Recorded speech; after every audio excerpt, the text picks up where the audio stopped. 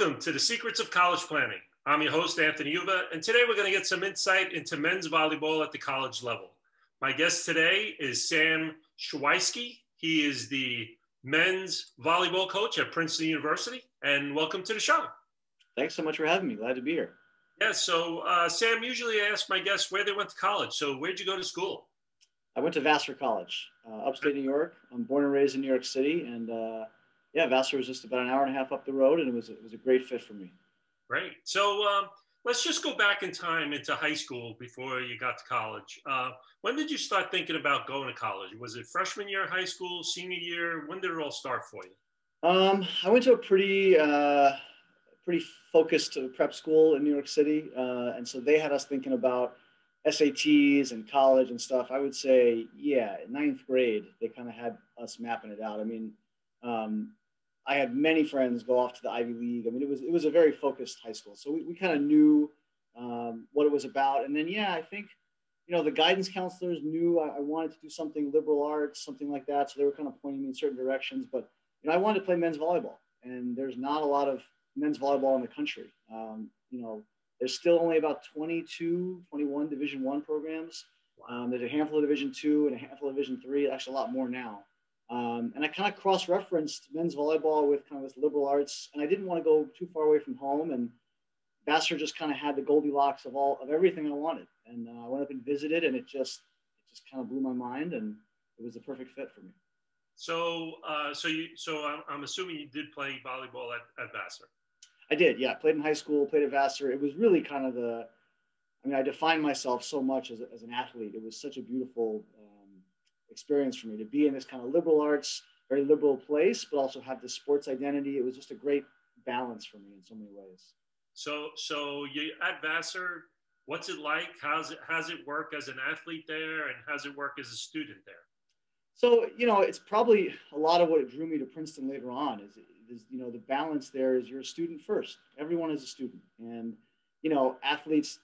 We got a bell or a whistle. You know, we got like a couple T-shirts and this and that, but it wasn't like we were treated as a complete different class of citizen, and that resonated with me. You know, it was like, yeah, we're all here, we're all academics, we're all doing the work, and then some of us do art, do theater, some do sports. You know, everyone kind of had their extracurricular um, avenue they wanted to pursue, and there, none was better or worse than the other. You know, there was really an equity there that that's kind of made sense the way I was brought up. It just kind of fit for me. Um, so I loved it, and I probably thought you know, I was more important or special than I was. Everyone has their own, the center of your own play is you. Um, but there was a kind of an equity and a balance uh, at that school that I thought was just very kind of, you know, meritocracy and kind of made sense. Sure. Sure. Now, so uh, you graduate from Vassar. How does one graduate from Vassar and become the uh, head men's uh, volleyball coach at Princeton University? Well, it's interesting. So I graduated from Vassar May of 2001 and I spent the summer coaching volleyball camps and wasn't sure I was going to do. And and I got it. I got a job offer. So I majored in uh, Hispanic studies, and I spoke fluent Spanish. And I was really I lived in Spain for a semester, and I was passionate about the Spanish language. And I got offered a job coaching at University of New Haven, uh, and the head coach at the time was Peruvian, spoke almost no English. And the team was about 80% Latin American. They had Ecuador, Peru, Venezuela, and three white guys from Connecticut and so the, the guy pitched me on like, hey, you can speak Spanish, you can translate, you can coach volleyball. I didn't really pay much, but it sounded interesting. And I, I rented a car for $26 on, on the morning of September 11th, 2001, oh, wow. to drive from New York City to Connecticut to take this interview. And I get halfway there and the Twin Towers are hit. And the whole world changes. And I can't, I can't leave Connecticut. New York City's locked down. So I take this job for $2,000 for the year, which my mom would remind me is not really a job, it's more of a hobby. Uh, and I started substitute teaching to kind of make ends meet. I was teaching Spanish in middle school and stuff like that. And, you know, I, I was just kind of in it and enjoying coaching, but I was sitting on the sidelines convulsing. Like I wasn't ready to coach yet at 23. You know, I, I wanted to play. And, and that's when I emailed some friends who were playing over in Europe. And I said, How did you guys get over there? What'd you do? And they said, "Oh, you, this this uh, company, Bring It USA, you got to go through them." And so I sent them a video of me playing in college, and I still I have this email saved somewhere. And the guy's a friend of mine now. He sent me an email back, and he said, um, "Saw your film. your level is not so terrible that you would destroy our tour. If your check clears, you're welcome to come. because because I, cause I played D3, I was a good D3 player, but th- this was all, you know, Penn State, Pepperdine, UCLA. This was all top D1 guys. So I kind of got on as this D3 defensive specialist guy. Went to Europe, played a year of semi-pro in Holland, and it just was back to my idea of living in Spain. Now I got to live in Holland, learn the culture, learn the language. It was, and, and volleyball was the vehicle. You know, volleyball gave me teammates and friends, and it was it was it was great. And did um, they pay you? Yeah, I mean that's a it's a generous term, you know. Uh, you know, I they got me sort of a job at the front desk, you know, and so I would check sport cards, and sometimes in the canteen I would pour beer and hang out, and they paid me a little bit. The coach would have me babysit his kids, and they'd pay me a little bit. They, you know, they they looked after me, and you know, it was enough to eat some peanut butter and jelly sandwiches and learn the culture, and, and that's why I tell my guys, I go, go play in Europe after college, like once you get older into your career, you're not going to want to sleep in a bus station and eat. You know, I went to an overnight bus station through Poland and I met some buddies and went to the, like, you have adventures at that age and you don't, my mom said, you slept in a bus station? I was like, yeah, it was an overnight thing, whatever. You know, you're just open for anything at that age. And um, it was a blast. It was a total blast. And, uh, you know, I came back, I was 24 and I was thinking, okay, maybe I should get a master's. I should maybe, you know, this was a good year, but my brain was getting a little, you know, wanted to do some more stuff. So I applied for, I wanted to do sports psychology.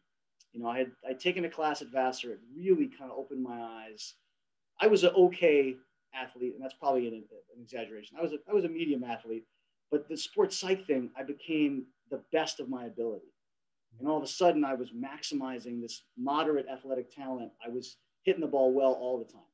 And I, I was, and I was so you know, mind blown by it. I thought, let me get a master's in this because I started looking at coaching volleyball. I thought maybe I want to do this, and a lot of things said master's preferred, master's preferred. I thought, okay, let me get a master's in, in, in something where I can use it in my coaching. And I looked all over the country, a bunch of places, and I found Miami of Ohio had this great top-notch master's program in sports psychology. Uh, and Ohio is different. Ohio was different than the Northeast. I wanted to see something different. So I went out there for two years. I got a master's. Uh, I coached under Carolyn Condit. She'd been there for 30 years. And she taught me so much about the business and treating people with respect. I mean, she she knew every janitor by name. She knew everybody, and I and there was just something amazing about not the volleyball, not the X's and O's, but just the the class with which she did it. I was so enamored with that, and um, she taught me how to motivate players and staff with with uh, sugar, not with you know reprimand. You know, I mean, I remember, I remember she gave me a VHS tape and we were playing Marshall and she said, Hey, would you mind watching and, and seeing if you have any notes? I thought, oh, wow, the head coach, I'm a lowly grad assistant. Okay. I watch the VHS, I take all these notes. I come in the next day, I said, you know, I watch all the notes and number 25, she, I think she hits cross court predominantly. And, and she goes, wow, that's so insightful. We'll use that in tonight's, the game plan had been written days ago. She's just humoring, she's just encouraging me, you know? We beat Marshall in three. And after in, after in the locker room, she, this is all women's volleyball. We come in the locker room and tells the girls, you know, the staff did a great job, and you know, and really Coach Shweisky with some really insightful things. You know, anyone with any knowledge of volleyball could have seen the things that I saw. It was really nothing special. But I, I said, Coach, I'm happy to watch more film. Like, you know, what can I do? And it was just a great lesson. And if you appreciate the people that work for you or play for you, and you give them pats on the back consistently, they're going to want to do more for you. And um, I just I really appreciated that. That was my first sort of bug into coaching. Was like this could be really a really fun fun thing. And I went I went from there to coach at UNLV. I went for a year and a half in Las Vegas, assistant coach with the women. Then I went for a year and a half to Central Florida uh, with the women. It's all women's volleyball. Women's volleyball is really the, the parent sport in our business. Um, and someone told me early on, you know, if you want to coach volleyball, you coach women's volleyball. That's the that's the, the paradigm. Uh, and then I was 30 years old working in Florida and I saw this thing in ads for Princeton. It said head men's coach and assistant women's coach, the dual job. And I thought, well, I have, I have some men's experience. I coached at New Haven. I played, you know, and I have a background in, you know, my high school, and my college were sort of academically. Put an application in, and I got an interview, and I can't. And, I, and it was like the times in your life when you just like, like when I walked on the Vassar campus, just felt right. I walked on the campus and I nailed the interview. I just had the right amount of everything. And there were people that applied for that job had way more men's experience, but no women's experience. Some people had way more women's experience, no men's experience. Some people weren't the right age. You know, I was 30. I had worked for a female boss before. This would be a female boss. I was very comfortable with that. Some people weren't ready for that. You know, I just, I just, I Goldilocks it. It just fit right. Uh, and I was, you know, I think it was five years, five or six years as doing both. And then they transitioned, they had enough sort of revenue to get a full-time women's assistant. And I shifted over just to do the men, which was always going to kind of be my, my passion. Uh, but it was nice to do both and to share with the other, with the women's head coach and kind of share things. So it, has been a great, it's been a great, I mean, I, I hear myself saying it. It's like, I couldn't have written a better script. Uh, to get to come back to Princeton, the Northeast, being close to my family in New York. I mean, it just, you know, your 20s, time to travel and explore, and then kind of come back to your roots and get to go to, you know, family events and stuff. It's it's really been, I'm very very fortunate. So let's get into uh, men's volleyball. Um, how does it all work? Uh, you know, give us a little background on men's volleyball at the college level. Uh, you said there's only a few handful of schools in Division One. So, what what uh, what's it what's it all about? Well, you know, it's interesting because there's so few schools. There's really a, a sense of community, um, and I felt it when I played. You know, I went out to the Penn State camp as a junior in high school, and you know, the head coach at the time, Mark Pavlik, this would have been '96. You know, as a coach, you, you know the players at your camp. I don't know. He shook my hand. You know, three years later, I'm at Vassar. We're playing Penn State and he shakes my hand after the game and he says, "You've really improved, Sam, since we saw you." I mean, I was like, "Oh my God, this guy like cares about me." And then you fast forward 10, 15 years later, I take the Princeton job. He takes me out to lunch, and we're sitting there at lunch at, at Penn State. And I said, "Well, I'm thinking about putting together a handbook of like offense, defense, sports psychology, nutrition, this and that."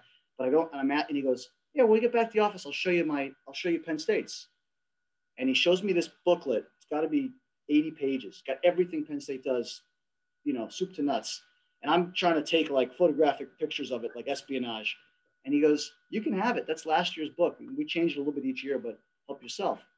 And I was blown away, um, blown away. Because on the women's side, and it's not a, a gender comment, it's more just a size comment. You know, women's volleyball, there's so many 330 teams in Division One alone. Everyone's got their secret sauce. Everyone's got their, you do it this way, and everyone wants to kind of be protective of that. Sure. On the men's side, there's a you know, there's also less money in men's volleyball coaching. So there's a there's like, and I don't want to speak for everyone, but there's a more relaxed like, yeah, I'll share. I, if you get better, I get better, you know. And also, there's less movement. Like, I've been here for 12 years. I'm not going anywhere. I'll be here for another two decades. And so there's less sort of cutthroat, like, oh, when that person leaves, I might take that job. And everyone kind of settles in and helps each other and shares. And it's a really nice feeling you know. So, so now, what type of uh, what type of guys do you look for at uh, Princeton University or at a Division One school in general? Because there's many people that'll watch this. Yeah, absolutely. I mean, you know, it's interesting. I, I'm fortunate enough to have an incredible assistant coach now who does. He's the recruiting coordinator. So he's emailing and calling and eh, like the whole country, and then he funnels up to me, kind of the cream of the crop, and I just have a nice little thing in my. It's nice being the boss when you can kind of delegate. Um, but it's they have to hit so many metrics, right? First is the academics. So they have to, ha- and this is the hard part too. We can't talk to kids uh, younger than junior year. So it's like coming into their junior that summer we can start talking to them. Sometimes it's too late. You know, you get in touch with the junior, you go, wow, I love watching you play. You know, what's, and they haven't taken the SAT yet, but they had a couple C's early on they can't come back from. Which if they knew maybe freshman year, like, hey, you might have a chance to, to play at this level and come to the school don't get a C. You know, stay stay diligent, stay focused on your work. So you, you got to have strong grades. You don't have to have all A's, but you can't have really a lot of blemishes. You kind of have to be B plus, A minus, you know, um, and then and then the testing, you know, which is now kind of in flux with COVID and everything. But you got to typically do well on the test score. So academics is kind of the first piece.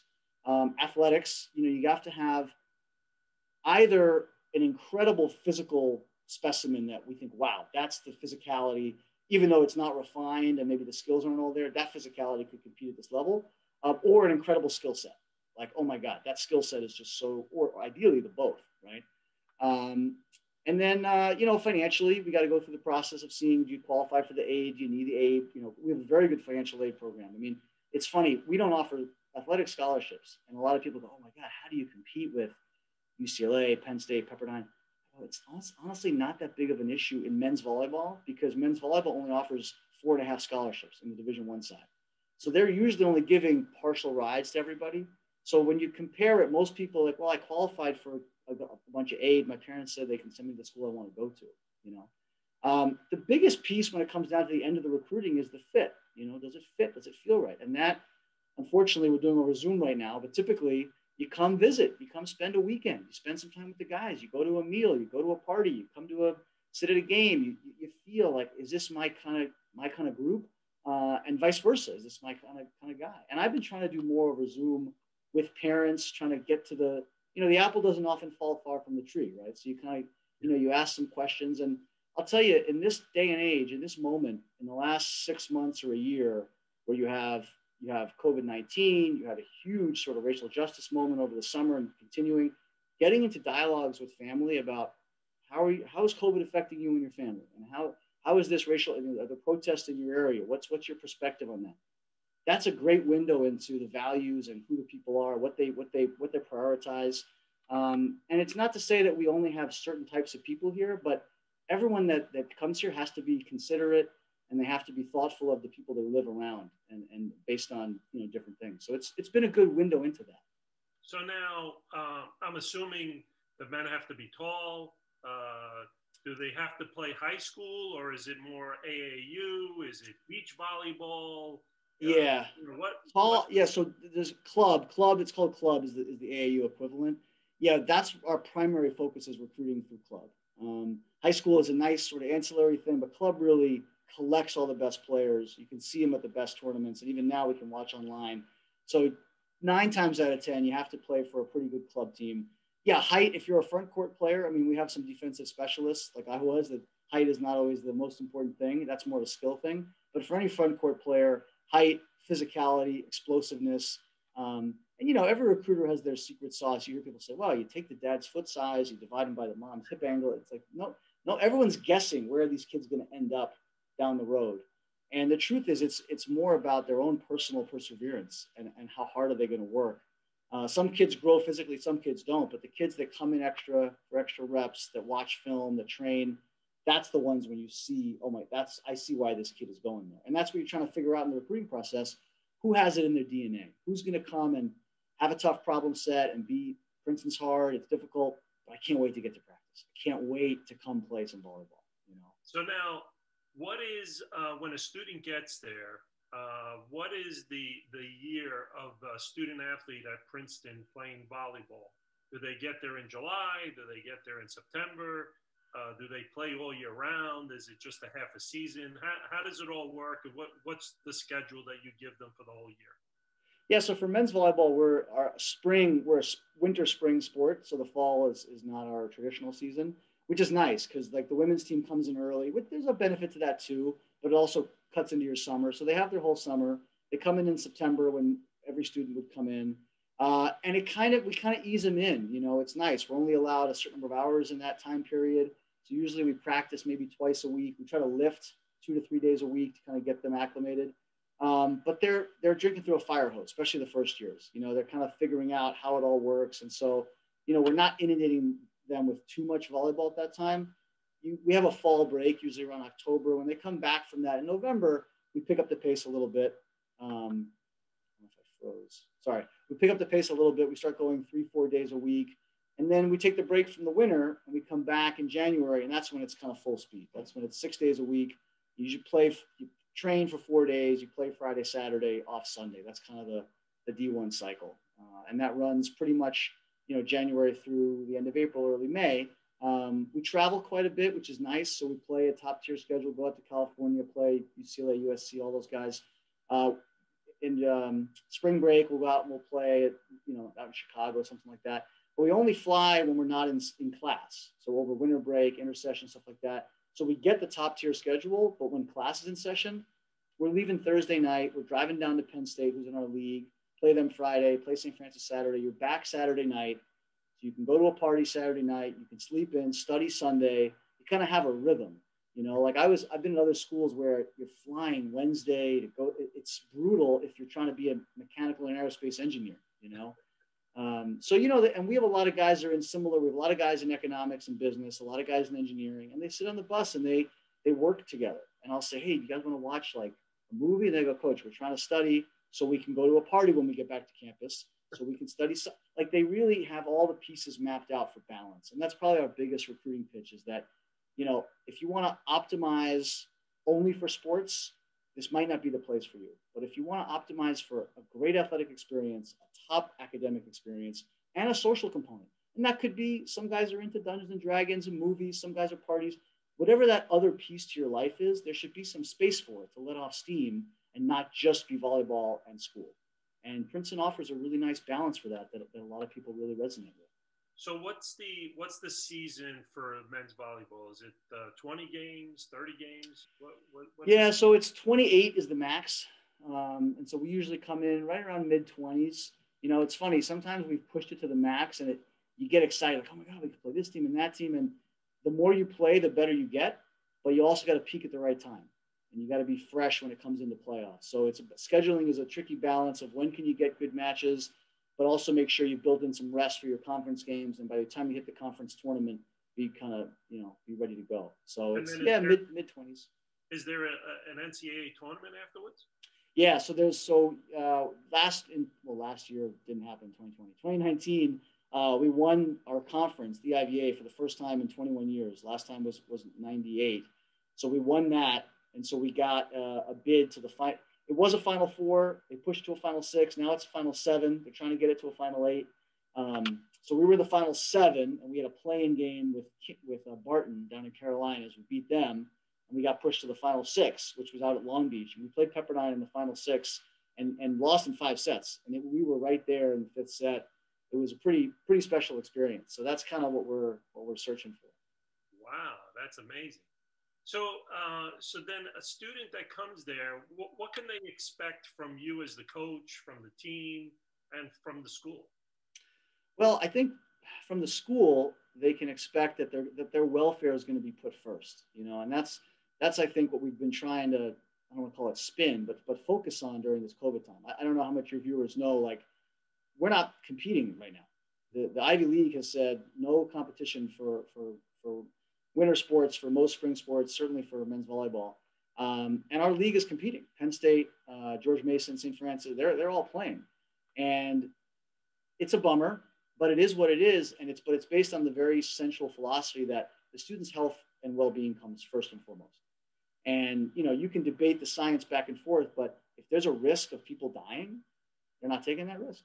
And I kind of appreciate them taking that stand. I mean, I wish we were competing. I'm a volleyball coach. I love to compete, but it, they didn't feel they could do it safely, and so they said we're not going to do it. So I think you can you can rest assured they're going to take care of you uh, from a safety standpoint first. The Ivy League was the first league to shut down last year, and everyone thought they were out of their minds, and all of a sudden the whole world caught up. So you know things based on science and fact, like I'm appreciative of that. What can they expect from me? It's not just about volleyball you know, and I think that's an important piece. Like, yeah, volleyball matters. Winning championships is important. Um, it's about community. It's about learning and growing. I mean, right now we're meeting once a week on Zoom because we, we have 10 guys on campus. We have seven guys that are on, on gap to the gap year. We meet once a week and we do team building stuff. We do, we're reading a book on racial justice and we talk through like pretty heavy things. We try to get vulnerable with each other. I've been doing things like that for 12 years. And it's a little more in mode now, which is good. I, I want everyone to sort of jump on board. But I had colleagues that said, like, talking about your feelings and why are you just are you talking about Kaepernick taking a knee? Yeah, we're talking about this stuff because it's it's important, and we're talking about it because we're a family, and we need to, you know, you're not going to talk through this with your with your team. This is a, this is a dinner table conversation you'd have with your with your wife, your son, your daughter, your husband, your kids.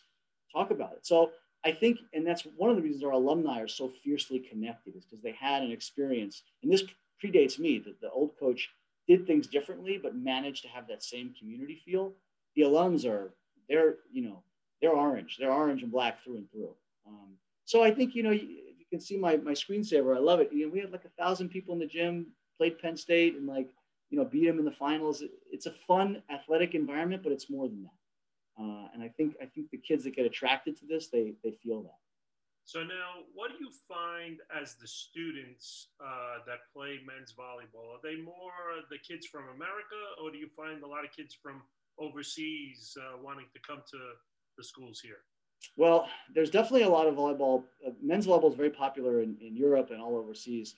We have a lot. We have a very difficult time getting internationals in because of the rigorous uh, testing and stuff like that. So we have we don't have very many internationals at all. My buddy at NJIT has got a team full of internationals. He's got a Spaniard, he's got an Italian, he's got the Brazilian. I mean, it's beautiful to hear six languages going on on one court as they're playing incredible volleyball. Um, but for us, yeah, we're, we're pretty much US based. I mean, we'll, we'll, we'll listen, we, anybody, you send me an email, you've got the qualification, I don't care where you're from. We'll look at it. If you've got the goods, come on in. Um, but you know, Southern California and Northern California, uh, Chicago, upstate New York, um, those are kind of some of our hubs where once you have a relationship with a, with a club director, with a school, and also if a guy emails his buddy and said, Hey, you know, I remember you, you were two years older than me. You're playing. How do you like it? Oh, I love it here. You should come.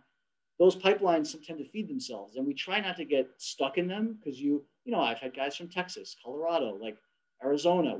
If you have, if you have what we think is the right fit, I don't care where you're from. Um, so we're trying to have pipelines in all in all areas. But uh, but yeah, some of the, the natural ones kind of repeat themselves.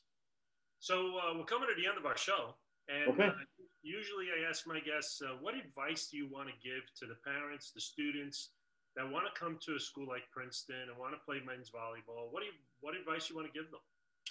Well, I would advise them to be um, proactive. You know, I mean, I think you know, I remember when I was making my little video, and back then it was a VHS tape. Now it's YouTube, and you send it out. It's so much easier. You can you can email every coach with a YouTube link. I was trying to think, am I going to pay for postage on the VHS? But be, be proactive and don't don't don't have an ego about you know you're waiting for a coach to contact you. Ego typically gets in the way in anything you're going to do. You know, be humble, be excited. If you like Princeton or whatever school it is, send an email. You know, right now because of COVID, things are a little bit tricky. But if they, we have a volleyball camp, come to our volleyball camp uh, go to Penn State's camp, go to Georgia, go to every camp, visit every, and I tell this to every recruit, look, look at everything. Turnover, there's not 200 schools. There's a, and once you start thinking about your region and where academically, you can narrow it down. Investigate, spend a weekend, spend time with the team. You know, I really think it's important for the, for the student athlete to take the lead. Sometimes parents keep emailing us. We go, that's great. Can we talk to your son? Uh, parents should be involved. Parents should be part of the Zoom conversations here and there. It's a family decision, but I love to see it when the student is, is driving it because that's the relationship that is going to matter for the next four years. So be proactive, ask questions. Hey, are you recruiting my position? Honestly, what do you think my chances are? You know, like most times, if you ask us a direct question, that helps put us in the right conversation that you want to hear. Um, and you know, shoot for the stars, but but cast a wide net, you know, and, and see what's out there. Great. Well, thank you very much for coming on the show. I really appreciate it. My pleasure. Thanks for having us. Yeah. So you've been watching The Secrets of College Planning. I'm your host, Anthony Uva. Until next time.